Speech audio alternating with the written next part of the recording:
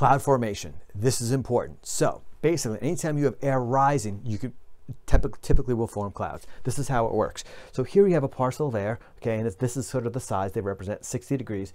As it rises, it expands and cools. Okay, that's what happens with air. Anytime you have rising air, it expands and cools. All right.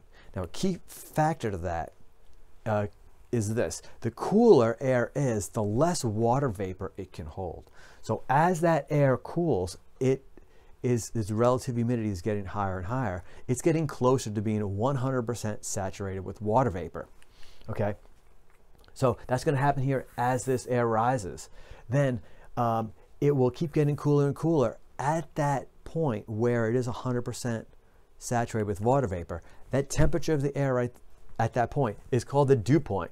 The temperature at which the air is 100% saturated with water vapor. Now I know in this diagram here, I don't know what the temperature is here, but I know that the air is at its dew point because you have clouds forming. This is where you have condensation. So clouds are liquid water, okay? Clouds and fog is liquid water. Water vapor is invisible, okay? So with water vapor here right now, we can't see it. So um, again, clouds, liquid water droplets. Key to know, not a lot of people um, know that. Hopefully you do, okay?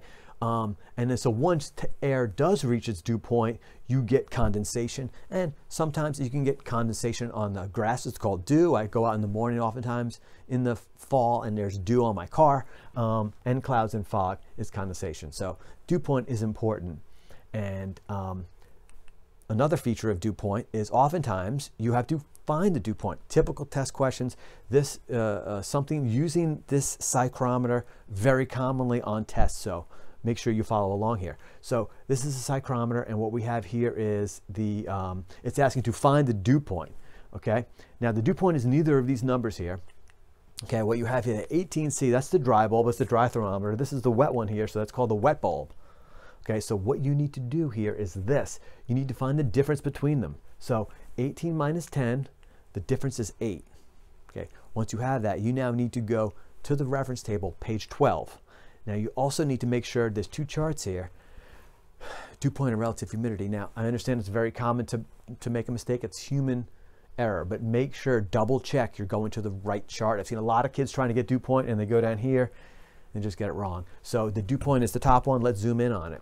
Okay, so we said the dry bulb temperature is 18. So what I'm going to do is it's somewhere in this row.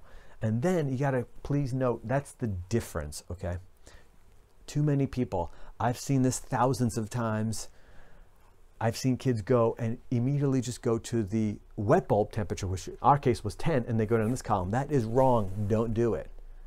The key thing is that that's the difference. In our case, it was 8. So it's this column. Now, I have the colors. Usually you have to like trace, trace your finger along here. And you're gonna get an answer of 2. And what does 2 represent? 2 degrees Celsius. Okay, so the dew point for this air uh, that this is measuring is 2 degrees Celsius. So it, it, would have to cool down from 18 degrees is the air temperature to 2 degrees. At that point, if you did that, it would be 100% saturated. You would get condensation. Uh, let's do another one. This is a, a different type of psychrometer here, and you often have to read the temperatures. A little hard to see probably, so I wrote the dry bulb here is 20 degrees C, and the wet bulb is 15 degrees C. And in this case, we're asked to find the relative humidity. That is how much moisture is in the air percentage-wise, okay? Um, and again, you get condensation when that's 100%. So you want to find the difference here, 20 minus 15. The difference is 5. So now you want to go to your chart, and again, back to this page, no relative humidity, not know it, but just always look, relative humidity is at the bottom. Let's zoom in. So our dry bulb here is 20, and this is uh, highlighted in yellow. And then we want to go to the difference, difference here which is five for us. So you want to go down the five column, okay? And where they, you know, that one number that matches is 58. And what that represents 58%, okay? That's 58% full of water vapor. That is the relative humidity right there. This is a key skill you need to know how to do.